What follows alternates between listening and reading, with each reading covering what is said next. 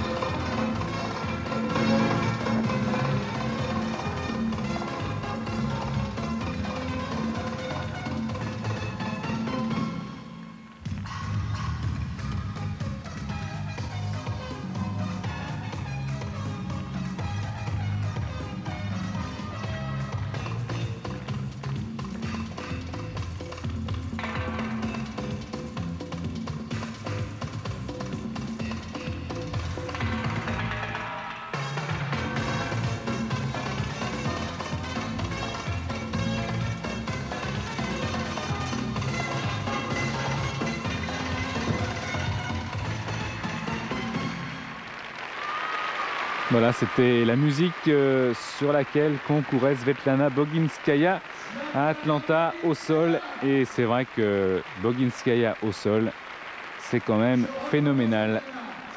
C'est pas pour rien qu'elle était la, chouchoute de la presse. Elle a toujours été la chouchoute de la presse en France. Parce qu'elle a toujours su euh, montrer quelque chose de, plastique, d'élégant. Même aux États-Unis, hein, je me souviens que le public américain était, on s'en souvient aussi, très très difficile voire euh, très partisan.